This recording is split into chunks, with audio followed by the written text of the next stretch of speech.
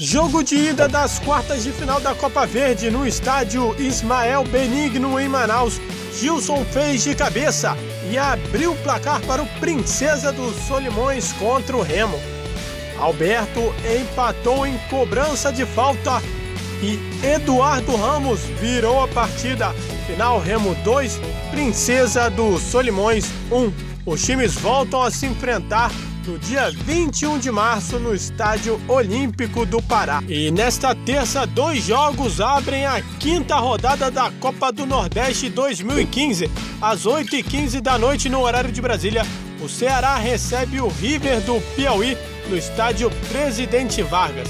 Já às 9h45 tem Sampaio Correia e Socorrense no Castelão, em São Luís do Maranhão.